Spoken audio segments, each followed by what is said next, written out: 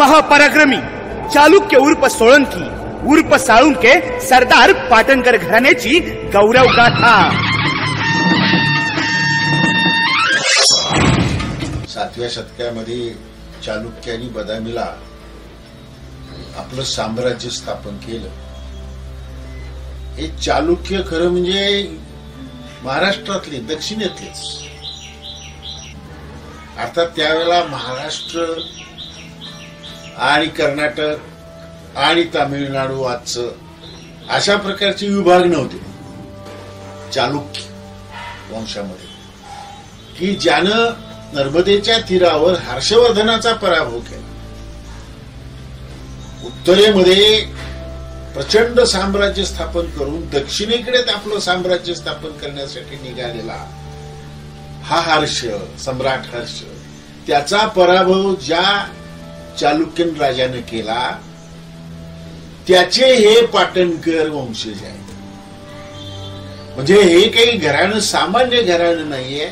या घराण्याला जवळजवळ दीड एक हजार वर्षांचा पुराणा इतिहास आहे. सतराव्या शतकात छत्रपती शिवाजी महाराजांनी हिंदवी स्वराज्याची स्थापना करून सर्व मराठ्यांना राष्ट्रप्रेमाने प्रेरित करून हिंदुस्थानच्या इतिहासात एक नवे युग सुरू केले. त्यांच्या अथक प्रयत्नातून मराठे हे राष्ट्र पदवीस प्राप्त ठरले. सोळाशे चौऱ्याहत्तर साली शिवाजी महाराजांनी स्वतःच राज्याभिषेक करून स्वतंत्र सार्वभौम मराठा सत्तेची उद्घोषणा केली.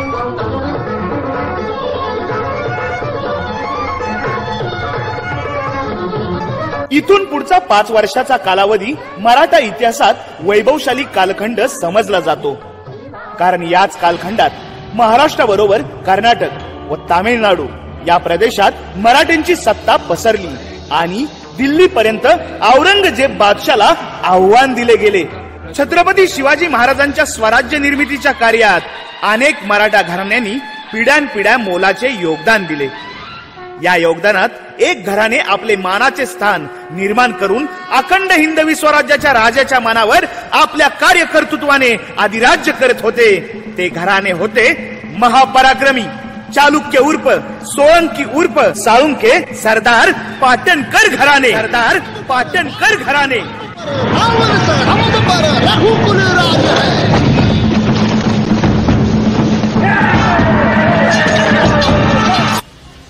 आणि ज्या वेळेला महाराष्ट्रामध्ये छत्रपती शिवाजी महाराजांनी स्वराज्य उभारायला सुरुवात केली. स्वराज्याची स्थापना मावळ प्रांतामध्ये केली आणि दक्षिणेकडे हळूहळू आपलं साम्राज्य आपलं स्वराज्य हे सरकवायला प्रारंभ केला. शिवाजी महाराजांच्या स्वराज्याच्या उद्योगामध्ये त्यांचे हात बळकट करण्यात जे पहिले लोक मिळालेले आहेत जे वतनी लोक मिळालेले आहेत मानाचे लोक मिळालेले आहेत ज्यांना समाजामध्ये स्थान होतं. अशापैकी हे पाटणकर घराणे. सरदार पाटणकर घराण्यातील वंशजांनी स्वराज्य उभारणीच्या कार्यात शत्रू सैन्याविरुद्ध लढताना जे धैर्य दाखवले जे शौर्य गाजवले शर्तीचे पराक्रम केले प्रसंगी रक्त सांडून स्वराज्याचे रक्षण केले त्याबद्दल छत्रपतींनी सरदार पाडणकरांना उचित गौरव केल्याची साक्ष म्हणजे शिवकालीन छत्रपती शिवाजी महाराजांचे पाटणकर घराण्यास आलेले पत्र.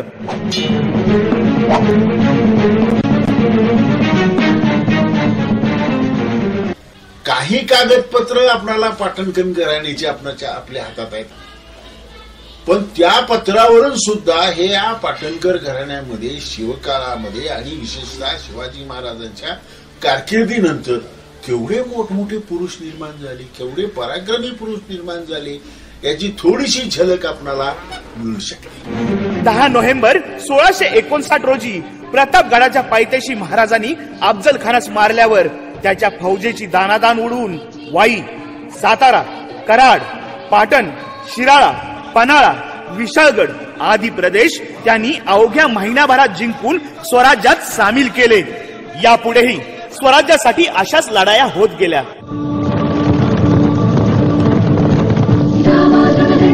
चीता पर भूषण वितुंड पर जैसे मृगराज है।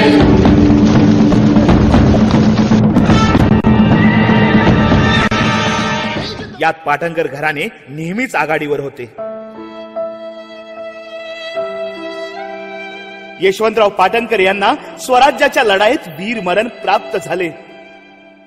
स्वराज्यासाठी कामी आलेल्या या सिंहासाठी छत्रपती गहिवरून पाटणकर घराण्याला सांत्वनपर पत्रात लिहितात तुम्ही मानाचे धनी वतनी लोक आहात. मानाचे धनी वतनी लोक आहात.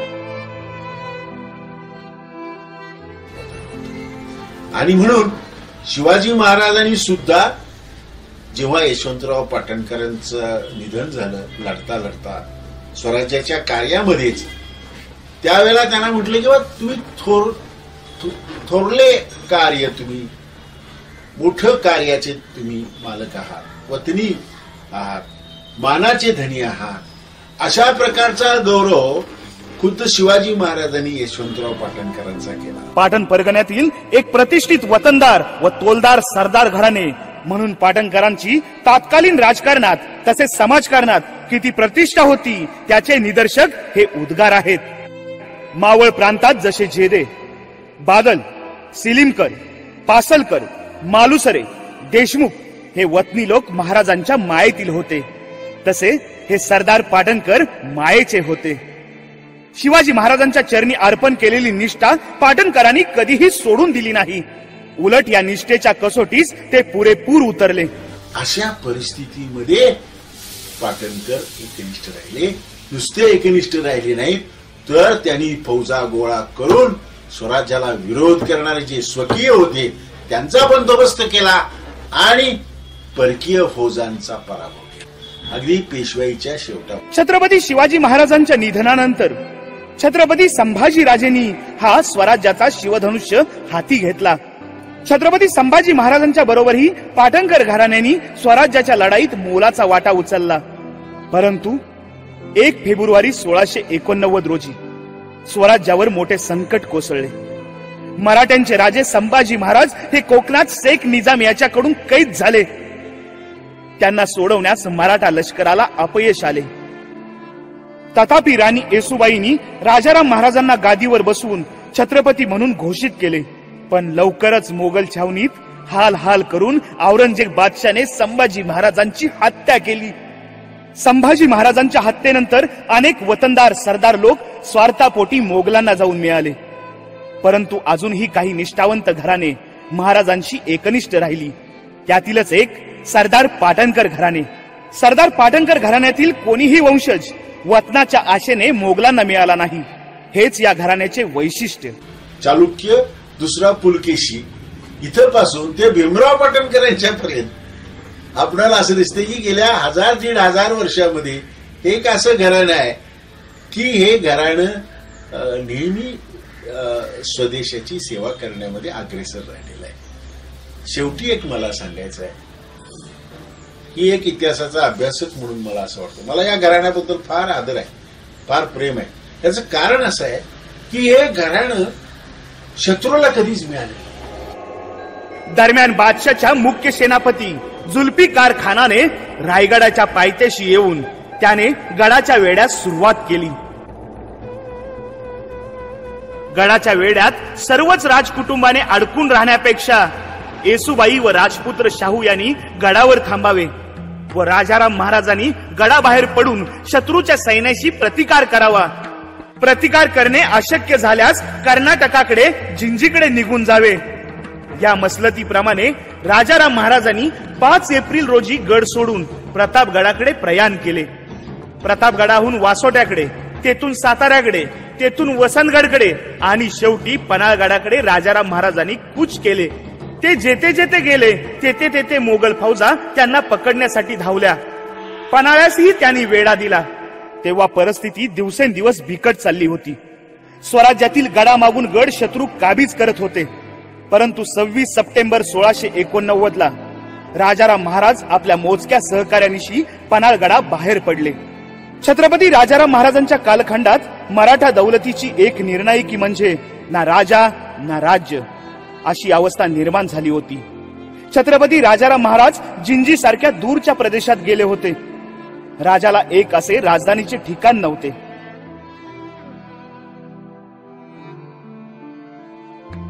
अशा बिकट परिस्थितीमध्ये रामचंद्र पंत अमात्य यांच्यासारख्या कर्तबगार व्यक्तीची दूरदृष्टी संताजी घोरपडे धनाजी जाधव यांच्यासारख्या शूर लढवया सेनापतींचे शौर्य या सर्वांस चांदजीराव पाटणकरांसारख्या स्वामिनिष्ठ तलवार बहादराची मिळालेली साथ.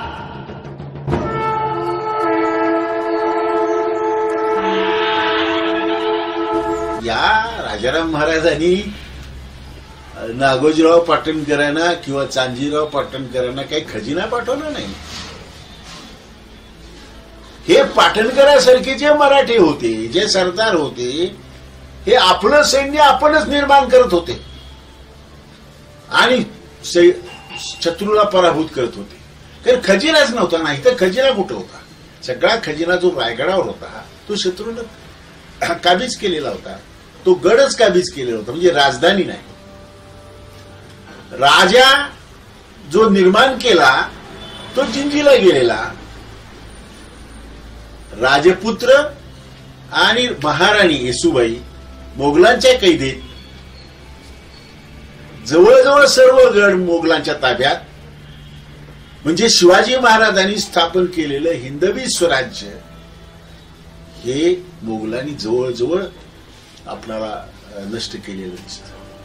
अशा परिस्थितीमध्ये पाटणकर एकनिष्ठ राहिले. नुसते एकनिष्ठ राहिले नाहीत तर त्यांनी फौजा गोळा करून स्वराज्याला विरोध करणारे जे स्वकीय होते त्यांचा बंदोबस्त केला आणि परकीय फौजांचा पराभव केला. यामुळे केवळ औरंगजेब सारख्या महाबळी सम्राटाला देखील हिंदवी स्वराज्य नष्ट करणे अशक्य झाले. छत्रपती राजाराम महाराज जिंजीस होते. त्या परिस्थितीमध्ये सरदार पाटणकरांनी प्रसंगी सावकाराकडून कर्जे काढून सैन्य उभे केले. आणि ते सैन्य स्वराज्याच्या सैन्यात सामील करून मोगलात जेरीस आणले. ही गोष्ट पाटणकरांच्या दृष्टीने गौरवास्पद आहे. छत्रपती राजाराम महाराजांनी चांदजीराव पाटणकर यांना एकोणतीस सप्टेंबर सोळाशे एकोणनव्वदच्या पत्रात सेना सहस्त्री तर तेरा एप्रिल सोळाशे नव्वदच्या पत्रात सेना पंचसहस्त्री असे संबोधले आहे. याच पत्रात संताजी घोरपडे धनाजी जाधव यांचा उल्लेखही सेना पंचसहस्त्री असाच केला आहे. यावरून वरील अल्पकाळात चांदजीरावांनी जी उल्लेखनीय स्वामी सेवा व स्वराज्य रक्षणाची कामगिरी केली. त्याबद्दल छत्रपतींनी सेनापतीच्या खालोखाल असणारे पद चांदजीराव पाडणकरांना बहाल केले. बहाल केले. चांदजीराव ऐन तारुण्यामध्ये असणारा हा इतका पराक्रमी होता की राजाराम महाराजांनी या चांजीरावाला पंचसहस्री हा हुद्दा दिलेला आहे. म्हणजे पाच हजार घोडदळाचा सेनानी प्रमुख. धनाजी जाधव त्यावेळेला अजूनही सेनापती नेमलेला नव्हता. राजाराम महाराजांच्या चरित्राचा मी अभ्यासक आहे. तेव्हा मी आपणाला सांगू इच्छितो की तो जो हा जो काळ आहे सोळाशे एकोणनव्वद नव्वदचा कालखंड आहे या कालखंडामध्ये अजूनही राजाराम महाराजांचं निर्णय झालेला नाहीये. की सेनापती पद धनाजी जाधवाला द्यायचं की संताजी घोरपण्याला द्यायचं. आणि दोघेही पंचसहस्री आहेत.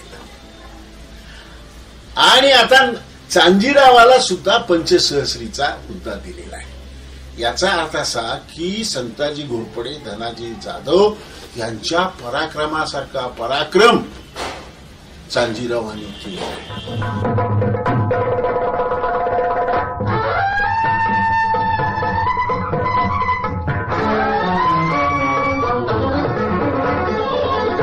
रामराव पाटणकर व पदाजीराव पाटणकर यांच्याकडे शिलादराची पंचसहस्री होती. पण त्यांना पंचसहस्री देण्यात यावी अशी विनंती वजा शिफारस चांदजीराव पाटणकरांनी छत्रपती राजाराम महाराजांकडे केली होती. सदर पागेची पंचसहस्री पदाजीरावांना दिल्याचा उल्लेख एका पत्रात आहे.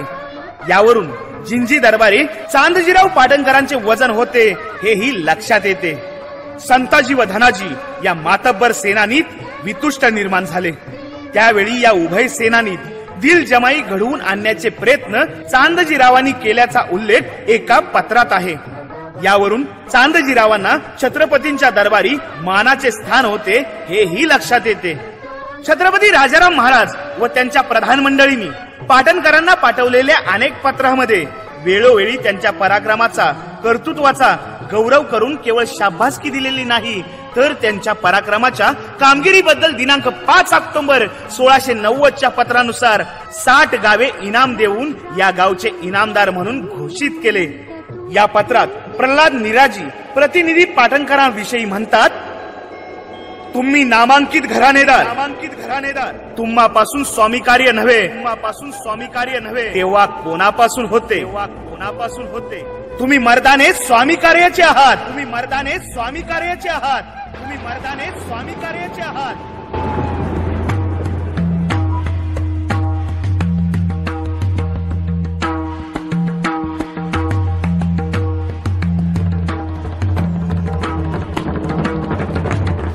स्वराज्याशी इमान छत्रपतीच्या पायाशी इमान खत्ता न करता जे एकनिष्ठ राहिले. नुसते एकनिष्ठ राहिले नाही त्यांनी ज्यांनी परा ज्यांनी आपल्या पराक्रमानं शत्रूला पराभूत केलं. दहा नोव्हेंबर सोळाशे एक्क्याऐंशी चे पत्र. सेना पंचसहस्री चांदजीराव पाटणकर यांना रामचंद्र निळखंट यांनी पाठवले आहे. या पत्रात पाटणकरांनी स्वामी कार्य केलेबद्दल त्यांना एक हत्ती बक्षीस दिल्याचा उल्लेख आहे.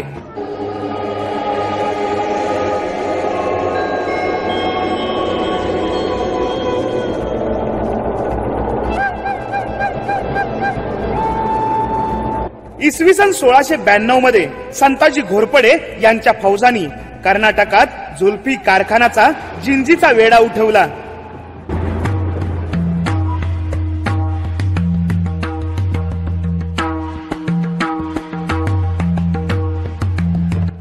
या मोहिमेत चांदजीराव पाटणकरांनी आपल्या जमावासह शर्तीचा पराक्रम केला. या शौर्याबद्दल संतुष्ट होऊन छत्रपती राजाराम महाराजांनी त्यांना संपूर्ण पाटण परगण्याची इनामाची सनद सोळाशे त्र्याण्णव ला दिली. असे हे घराणे प्राचीन काळापासून इतिहास प्रसिद्ध राहिले आहे. यांचे पूर्वज म्हणजे बदामीचे चालुक्य उर्फ साळुंखे. हर्षवर्धनाचा नर्मदा तीरावर पराभव करणारा दुसरा पुलकेशी याच वंशातील स्वराज्य कार्यात धडाडी दाखवल्याबद्दल ज्योत्याजीराव साळुंखे यांना पाटण महाल जहागीर दिला. शिवकालात याच घराण्यात यशवंतराव नागोजीराव चांदजीराव आदी अनेक पराक्रमी आणि कर्तबगार पुरुष निर्माण झाले. पुढे पेशवाईतही जानराव पाटणकरांसारख्या अनेकांनी घराण्याची परंपरा अशीच चालू ठेवली. कोल्हापूरच्या छत्रपती घराण्यातील राजाराम छत्रपती फ्लॉरेन्सला निधन झालेले. याच पाटणकर घराण्यातून दत्तक गेले होते. त्यामुळे छत्रपती घराण्याशी पाटणकर घराण्याचे रक्ताचे नाते जुळले. एवढंच नव्हे तर इंग्रजांचा अंमल झाल्यानंतर सुद्धा पाटणकर हे आपणाला राज महाराष्ट्राच्या राजकारणामध्ये दक्षिणेच्या राजकारणामध्ये अगदी सांगायचं म्हणजे अलीकडे स्वातंत्र्याच्या काळामध्ये सुद्धा स्वातंत्र्य जेव्हा आपल्याला मिळालं त्यावेळेला सुद्धा भीमराव पाटणकरांच्या सारखे एक मोठे कर्तबगार पुरुष या घराण्यामध्ये निर्माण झालेले दिसतात. पंडित जवाहरलाल नेहरूंनी जी शपथ घेतली पंतप्रधान पदाची त्यावेळेला तिथं जी मंडळी होती त्याच्यामध्ये मला वाटतं मी पाहिला एक फोटो की भीमराव पाटणकर त्या ठिकाणी आहेत. म्हणजे अगदी नागोजीराव पाटणकरांच्या पासून किंबहुना आपण असं म्हणूया की चालुक्यापासून चालुक्य दुसरा पुलकेशी इथं पासून ते भीमराव पाटणकर यांच्यापर्यंत आपणाला असं दिसतंय की गेल्या हजार दीड हजार वर्षामध्ये एक असं घराणं आहे की हे घराणं नेहमी स्वदेशाची सेवा करण्यामध्ये अग्रेसर राहिलेलं आहे. शहाजीराजे छत्रपती शिवाजी महाराज छत्रपती संभाजी महाराज छत्रपती राजाराम महाराज महाराणी ताराबाई रामचंद्र पंडित संताजी घोरपडे धनाजी जाधव नागोजीराव पाटणकर चांदजीराव पाटणकर अशा शूर व कर्तबगार व्यक्ती ज्या ज्या घराण्यात निर्माण झाल्या त्या त्या घराण्यातील वंशजांना त्यांचा अभिमान वाटणे स्वाभाविक आहे. पण या ऐतिहासिक व्यक्ती केवळ त्या घराण्याच्या नाहीत तर त्या सर्व महाराष्ट्राच्या सर्व मराठी लोकांच्याही आहेत. कारण आज तो मराठी समाज व मराठी संस्कृती चालू पिढीसाठी ऐतिहासिक वारसा म्हणून जतन करून ठेवली गेली आहे. ती या थोर व्यक्तींच्या पराक्रमामुळे शिल्लक राहिली आहे. याची जाणीव प्रत्येक सुजान मराठी माणसाला आहे. यासाठी प्रत्येक मराठी माणूस या व्यक्तींचा शतशार ऋणी आहे. स्वराज्याच्या प्रेमाची स्वराज्याच्या निष्ठेची खरी कसोटी केव्हा लागते? मला असं वाटतं की स्वराज्य जेव्हा संकटात येतं राष्ट्र जेव्हा संकटात येतं त्यावेळेला राष्ट्राच्या बाजूने जे लढतात राष्ट्राच्या बाजूने जे हौतात्म्य पत्कर पत्करतात ते खरे राष्ट्रवीर ते खरे राष्ट्रपुरुष असं म्हणतात. आणि म्हणून महाराष्ट्राला अशा प्रकारचे पराक्रमी पुरुष अशा प्रकारचे राष्ट्रपुरुष देणारे हे घराणं आहे. त्या घराण्याला मी वंदन करून मी माझं एक छोटस प्रास्ताविक संपवतो. चालुक्य उर्फ सोळंकी उर्फ साळुंके सरदार पाटणकर घराण्याने छत्रपतींशी इमानदारी आणि गोरगरीब जनतेशी सलोखा आपलेपणा बांधिलकी आजवर कधीच सोडली नाही. म्हणूनच या पाटणकर घराण्याला त्रिवार मानाचा मुजरा मानाचा मुजरा.